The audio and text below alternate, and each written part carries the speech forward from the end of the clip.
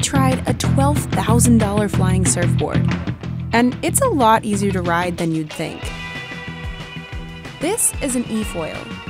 It has an electric motor attached to a hydrofoil or a thin blade underneath the board. With enough speed, you can lift up and fly above the water without needing wind, waves, paddle, or a tow. Co founder Nick Leiken said the boards were designed so that everyone can learn to ride the e-foil quickly.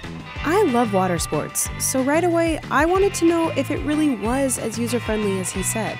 So I went to Isabela, Puerto Rico to try it out. And turns out, he was right. Nick took us to Crash Boat Beach for our first ride. It's his favorite spot, and he said he'd have me up on the board in 20 minutes. I have a lot of experience paddleboarding and windsurfing, but even I thought he was overestimating my ability. First, we had a safety talk about the functions of the board and how to safely bail if we fell.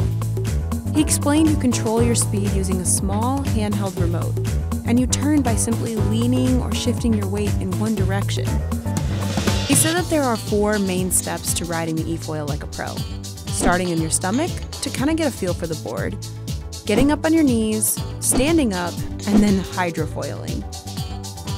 Easy enough. So we headed out on the water to try it ourselves. Climbing on the board was no problem at all. Once you're up, it's kind of relaxing. I just spent the next couple minutes increasing my speed to get a feel for the board underneath me. First time getting on my knees was a little wobbly, but once they were in place, I felt totally comfortable straightening my back. And I didn't fall, so I'm gonna count that as a win. Full disclosure, this was the step where I first wiped out.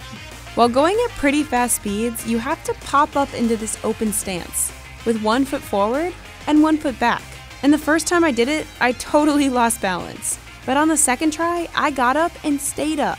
It was probably less than five minutes and I was standing comfortably. This was by far the hardest step for me. From the standing position in step three, I had to shift my feet to the back of the board. And with my weight in my back foot, the board literally lifted out of the water onto the hydrofoil. I know it doesn't look real, but I swear there's physics involved and it works. And I probably spent the next hour just going up on the hydrofoil and trying to come down as smoothly as possible, all from shifting my weight between feet. And this is where I had my fair share of face plants.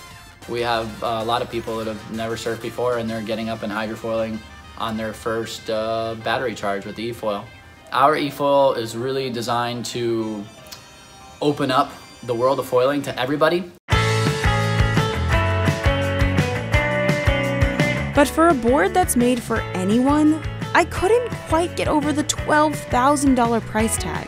So I set out to find out why it's so pricey. Well, it turns out the production process is pretty much all done by hand, using state of the art technology.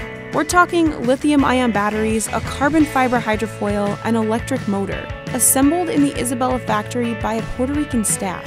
I would say 40 to 60 hours probably when you add it all up for each component. We're doing about four to five boards a day to ship it out, which is there's a lot of work involved um, to put those together. A lot of different teams need to come together. Pretty soon it'll look like the Jetsons, you know, with everybody foiling around everywhere. Having seen how much time goes into each board, I totally see why it costs $12,000. But I guess the real question is would it be worth the steep price tag? In my opinion, absolutely, if you have the means. Nick was right. He can get anyone standing on the e foil in less than 20 minutes. It's easy to learn and ridiculously user friendly. And without sounding cliche, it's magical up on that hydrofoil. Once you lift off the water, it's silent. You're literally flying. And I guess you could say that feeling is priceless. But sadly, I probably won't afford to be up on the e-foil again anytime soon.